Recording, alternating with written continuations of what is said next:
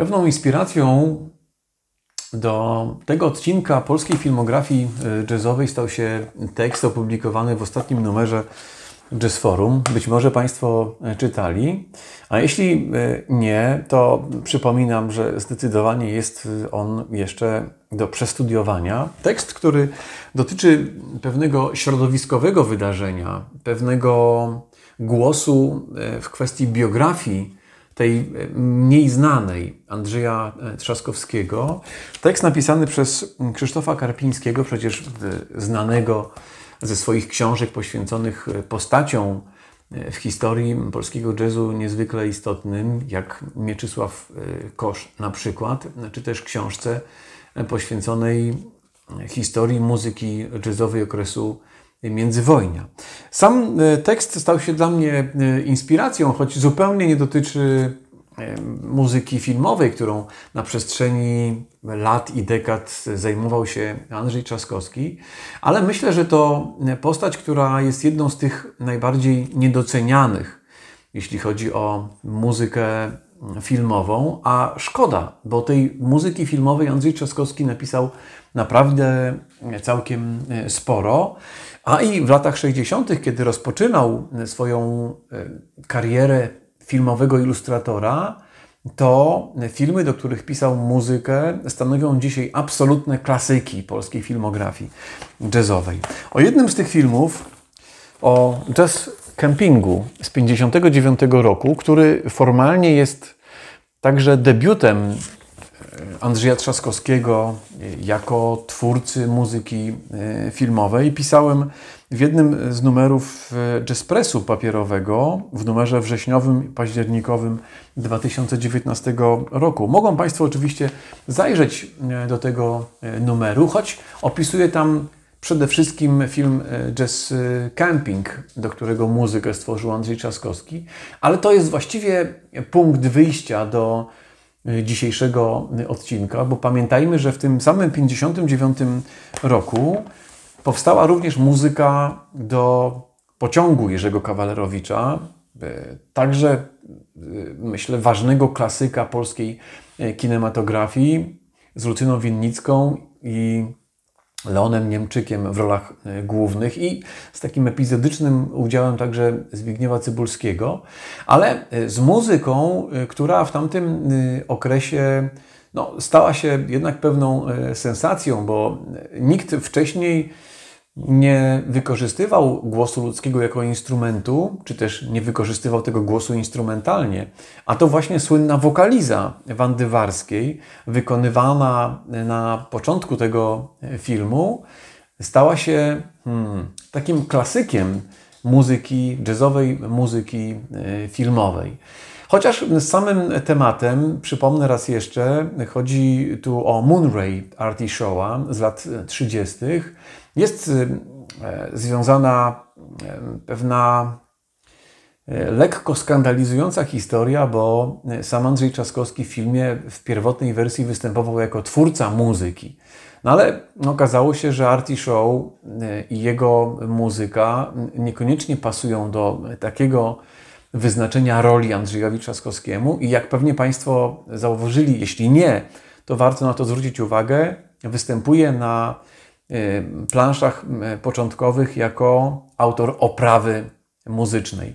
A sam temat, który przeszedł do historii z pociągu Kawalerowicza, wykonywany jest, jak wspomina Gabriela Kurlewicz, przez jej ojca Andrzeja Kurlewicza i Wandę Warską, jej y, matką. Ale co do pociągu, y, odnosił się w jednej z naszych wspólnych rozmów do tego filmu także Jan Ptaszyn-Wróblewski. Mówił o tym, że w nagraniu tej y, muzycznej ścieżki, czy też w nagraniu muzyki do tego filmu, wzięło udział, no, z przymrużeniem oka, oka, pan Jan to mówił, ze 40 polskich muzyków tamtego czasu, którzy nagrali kilka godzin muzyki. I żadna y, z tych y, wersji nie weszła ostatecznie do y, filmu, a jak wiemy, dziś ta słynna wokaliza Wandy Warskiej stała się tu chyba najważniejszą.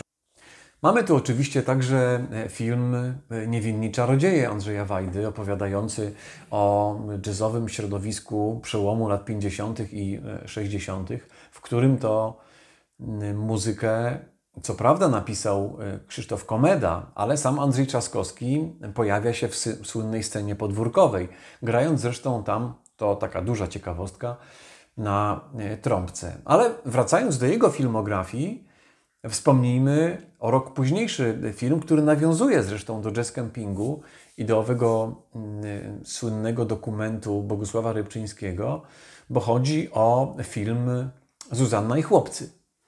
Także przecież y, film zdecydowanie y, należący do tego nurtu polskiej filmografii jazzowej, bo y, wszak słyszymy w nim nie tylko śmietankę i widzimy śmietankę polskiego jazzu, od Dudusia Matuszkiewicza po samego Wojciecha Karolaka, ale muzyka stworzona przez Andrzeja Trzaskowskiego jest tam również niezwykła, bo przecież słyszymy tam zespół Jazz Believers i to e, w takiej klasycznej, kwintetowej, personalnej formie. W latach 60. powstało e, co najmniej kilka takich ważnych filmów z muzyką jazzową Andrzeja Trzaskowskiego, bo myślę sobie, że akurat w wypadku Andrzeja Trzaskowskiego, podobnie zresztą jak w wypadku Andrzeja Kurylewicza, e, ta muzyka tworzona e, przez nich była stylistycznie bardzo różna. I myślę sobie, że większość tej muzyki, zwłaszcza w późniejszych latach dekadach lat 70. czy 80., była ona chyba bardziej muzyką odpowiadającej, odpowiadającą konwencji kameralistyki i ilustracyjności filmu niż samego e, jazzu. Ale na początku, w latach 60., w obu zresztą przypadkach e, i Kurlewicza i Trzaskowskiego, mamy e, do czynienia jednak z ich fascynacją muzyką jazzową i przekonaniem, że to muzyka jazzowa jest y, w tym przypadku chyba y, najciekawszym rozwiązaniem formalnym, jeśli chodzi o muzykę do filmów polskich reżyserów. No, bo choćby taki film jak Rozwodów nie będzie Jerzego Stefana Stawińskiego. Pewnie Państwo mm, pamiętają ten film, bo to taki nowelowy e, film z trzema różnymi opowieściami. Dokładnie w drugiej i trzeciej opowieści mamy do czynienia i słyszymy muzykę mm, Andrzeja e, Trzaskowskiego. No, z jednej strony jest tam ciekawostka, bo to chyba jedyny e, taki przypadek w historii polskiej filmografii, jazzowej i polskiego jazzu, i polskiej kinematografii zapewne, że jazzmeni wykonują lekko jazzową, swingującą wersję słynnego marsza weselnego Mendelssohna, ale e, mamy tam także e, szczególny przypadek, który przekonuje, że w latach 60. z pewnością muzyka e, jazzowa była takim stylistycznie gatunkiem pokoleniowym. Do jazzu e, tańczono. I w, jednym z, e, w jednej ze scen tego filmu słyszymy muzykę jazzową, lekką, rozkołysaną, subtelną balladę i e, tańczących młodych ludzi podczas klasycznej, powiedziałbym, domówki. Ale w tych latach 60., gdybym miał wskazać jeszcze jeden ciekawy film z ukrytą ciekawostką, to e, wspomniałbym film W każdą pogodę z 1969 roku. Film Andrzeja e, Zakrzewskiego, w którym to Andrzej Trzaskowski korzysta z usług zespołu Novi Singers, o którym opowiadałem w jednym z odcinków. I to jest kolejny film, w którym e, ten udział zespołu Novi Singers nie został opisany. To znaczy w filmografii polskiego jazzu i w filmografiach polskiego kina nie ma słowa o tym, że występuje tu w tym temacie przewodnim tego filmu. Przypomnę raz jeszcze, w każdą pogodę e, właśnie zespół e, Novi Singers. Z moich wyliczeń wynika, że będzie to z piąty albo nawet szósty film, w którym e, nowi singers nie są wskazani jako wykonawcy e, muzyki w jednym z filmów. W roku 1970 z kolei Jan Rybkowski kręci film, który także wspominałem, album polski, Barbara Brylska, Andrzej Seweryn, świetna para aktorska, która gra tam główne role. I tu również pojawia się znakomita muzyka Andrzeja e, Trzaskowskiego e, z wykorzystaniem zespołu Novi Singers. To jest, e, myślę, ciekawy przypadek również dlatego, że na przełomie lat 60., 70. z zespołem Novi Singers współpracował dosyć blisko ja, także Zbigniew Namysłowski, również jako kompozytor, ale także współpracownik Pamiętamy, a przynajmniej mamy takie relacje o koncertach, które odbywały się również wspólnych koncertach z, ze Zbigniewem Namysłowskim, ale również i w filmach. Choćby w albumie polskim mamy taki przykład współpracy zarówno zespołu Novi Singers, jak i samego Zbigniewa Namysłowskiego. W latach 70. i 80. sam Andrzej Trzaskowski zaczął tworzyć e, taką typową ilustracyjną muzykę, która niewiele miała wspólnego niestety z muzyką e, jazzową. Trochę szkoda, ale z drugiej strony taki był jego wybór i chyba też taka była potrzeba e, polskiego kina, aby odejść nieco od muzyki jazzowej, która była wielkim odkryciem polskiej kinematografii w latach 60 i być może rację mają ci, którzy twierdzą, że w latach 60. tę konwencję jazzową e, do cna wyeksploatowano i w latach 70.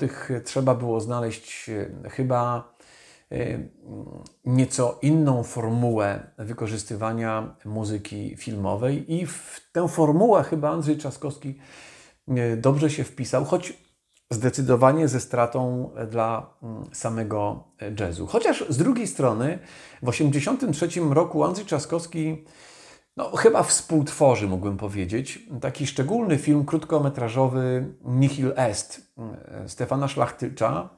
E, filmu z wykorzystaniem również tancerzy. Właściwie jest to taki krótkometrażowy film, można by nazwać go e, także filmem e, baletowym do którego Andrzej Trzaskowski napisał muzykę na ośmiu wykonawców jazzowych i orkiestrę symfoniczną. Dosyć monumentalna jest ta muzyka, ale kiedy czasami wracam do tego krótkiego filmu, to przypomina mi się e, również e, Krzysztof Komeda ze swoimi etiudami baletowymi, które przecież zostały wystawione na scenie, a Polska Kronika Filmowa także zarejestrowała fragment jednego E, z tych e, baletowych e, spektakli związanych przecież z działalnością muzyczną samego Krzysztofa Komedy. Ale myślę sobie, że lata 80. to w ogóle taki zupełnie nowy okres wypadku wielu twórców, nie tylko Andrzeja Trzaskowskiego, ale również Jerzego Dudusia Matuszkiewicza. Okresu, który jest y, czasem fascynacji elektroniką.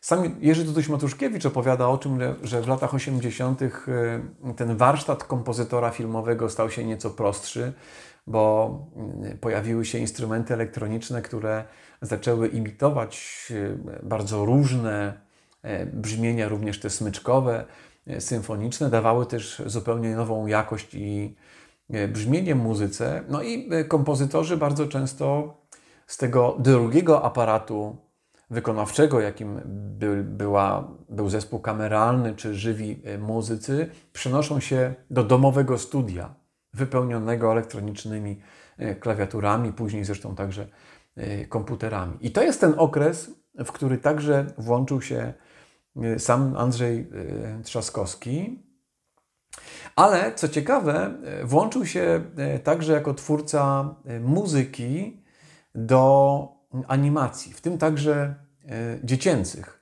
o których warto także wspomnieć, bo to całkiem spory dział i obszar aktywności polskich jazzmenów, jeśli chodzi o polską kinematografię. Dziecięce kreskówki i kino dla dzieci, zwłaszcza to animowane, które w końcu lat 80. E, stało się dość popularne, e, także wchłonęło e, polskich jazzmenów i ich muzyczną twórczość. I Andrzej Trzaskowski, myślę, świetnie to wykorzystał. Pod koniec lat 80. Andrzej Trzaskowski, jak powiedziałem, zaczął wykorzystywać instrumentarium elektroniczne, nową technologię, jeśli chodzi o tworzenie muzyki filmowej i znakomicie zderzył ją także z tą konwencją kina dziecięcego, kina animowanego. Chodzi przede wszystkim o film oparty na komiksie Babcio Chmiela, czyli film Tytus Romek i Atomek. Tą pierwszą ekranizacją słynnego komiksu, do którego muzykę i to bardzo obszerną, towarzyszącą właściwie bohaterom w tym dwuodcinkowym E, serialu przez e, cały czas stworzył Andrzej e, Trzaskowski. Myślę sobie, że to taki jego w latach 80. rozpoznawalny nurt, jeśli chodzi o muzyczną ilustrację, ale pewnie także sam Andrzej Trzaskowski zaczął inspirować także innych kompozytorów, aby sięgali po te nowe zupełnie instrumentarium. Chociaż y, pamiętajmy o tym, że polscy jazzmeni, jeśli chodzi o animację dla dzieci, bywali dość aktywni, bo przecież zwróćmy uwagę, sam Jerzy Matuszkiewicz w 1962 roku tworzy ścieżkę dźwiękową, czy też ścieżkę muzyczną do pierwszego filmu z znanym i rozpoznawalnym bohaterem dziecięcych y, y, bajek y, Misia Uszatka. A z kolei Janusz Muniak tworzy w latach 70. muzykę do filmów, chyba dzisiaj mało znanych i rozpoznawalnych przez dziecięcą publiczność, ale jednak istniejącą dziś tej świadomości muzyków jazzowych i badaczy wykorzystania muzyki jazzowej filmie animowanym, czyli seria filmów e, z głównymi bohaterkami, Kaśką i Baśką. Słyszymy tam muzykę Janusza Muniaka, który generalnie w ogóle nie identyfikował się z muzyką e, jazzową w filmie, ale jednak od czasu e, do czasu pojawiał się jako muzyczny mm, ilustrator. Tymi dziecięcymi filmami i zwłaszcza muzyką jazzową w dziecięcym Y, kinie, także tym animowanym, myślę, warto się w ogóle zająć zupełnie osobno, co też y, zrobię w jednym z najbliższych y, odcinków. Dziś natomiast, kończąc wątek związany z Andrzejem Trzaskowskim, warto wspomnieć również i o tym, że Andrzej Trzaskowski u początków swojej muzycznej kariery, jeszcze wtedy mm, może mm, nie tak